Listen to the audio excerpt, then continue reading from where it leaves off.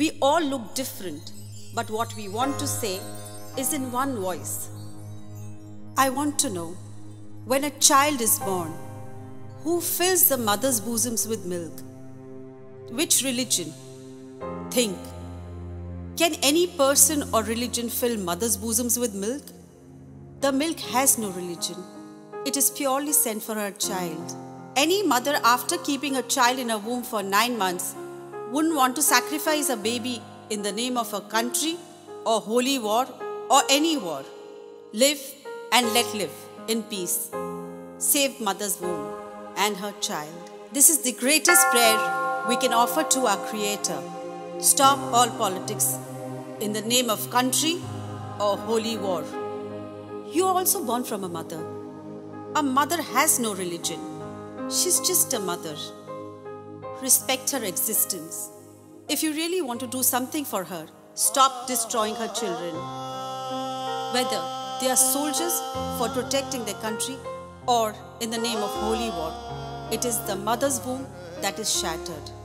Imagine if we live in peace and harmony, we will not need soldiers, and mothers can live happily with their children. Come, let us all protect mother's womb by living in peace and harmony.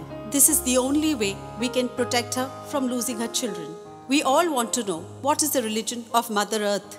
If she has no religion, why she has to go through the agony of bomb blasts that destroys her womb? We all are a part of Mother Earth's love, and she has made and treated all of us equal. Be it the parts of our body, or the golden rays of the sun, or the magnificent light of the moon, or the gentle calming breeze. The Mother Earth never discriminates or favors anyone. Then why do we, in the name of religion, give her pain by sacrificing her children? We should be ashamed of ourselves. The Mother Earth, who has bestowed us with pure love and blessings, we are only giving her pain and agony. Let us all take an oath, and before she gets angry for destroying her womb and punishes us for our ignorance and carelessness through tsunamis, storms, earthquakes, and avalanches. Let's fill her with love and togetherness.